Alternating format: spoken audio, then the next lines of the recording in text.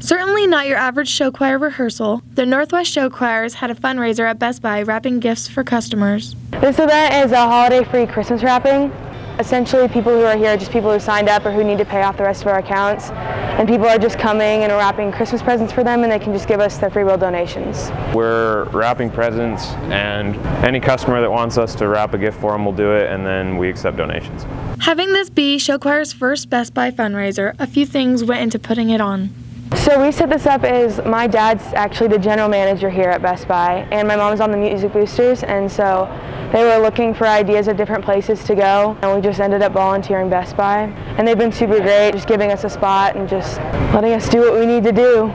Throughout the school year, Northwest Choirs hold several different types of events to raise money for competitions. This fundraiser will benefit Show Choir a lot because it'll pay for a lot of the set that we get, a lot of the big props and stuff we use for our show. Raising money for a show choir in general, there are people who still need to pay off their accounts, which like that money goes to costumes and to risers and to any sets that we need for each show. This isn't the only fundraiser Show Choir holds, as it takes a lot of work to put on the show. The fundraisers that we've held this year, we bagged groceries at Hy-Vee earlier this month, and that made a lot of money.